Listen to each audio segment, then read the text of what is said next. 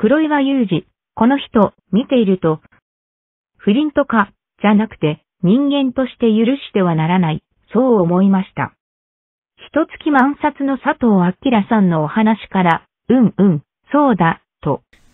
やっぱりこのメールのね、異様な文面ですね。これを見たり、この黒岩さんのね、この姿勢態度、ね、えー、このね、英子さんのお母さんの具合が悪い時にね、うん、それを、それが原因でね、いろいろ準備できなかった。ね、新作ビデオを用意することできなかった。それに対して慰めるね、言葉じゃなくて、ね、バカ野郎ね、前から用意しとけって言ったら言っただろうみたいなですね、そんなこの罵倒の言葉を投げる。これはね、やっぱりね、異様ですよ。異様。うん。これはね、人格的に言って、とてもね、知事とは思えない。ね。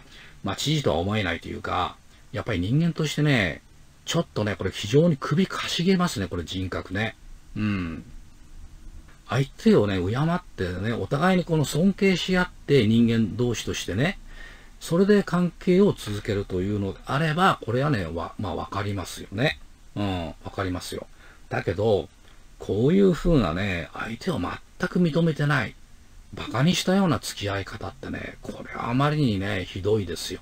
えー、前も言いましたけどね、このキャスターとかね、この黒岩さんね、フジテレビのキャスターね、ずいぶん長い間やってましたよね。それからジャーナリストですね。結局ね、キャスターとかジャーナリストというのはね、ね、どの、えー、どこ行ってもね、素人なんですよ。ね、どの世界行っても素人なんですよね。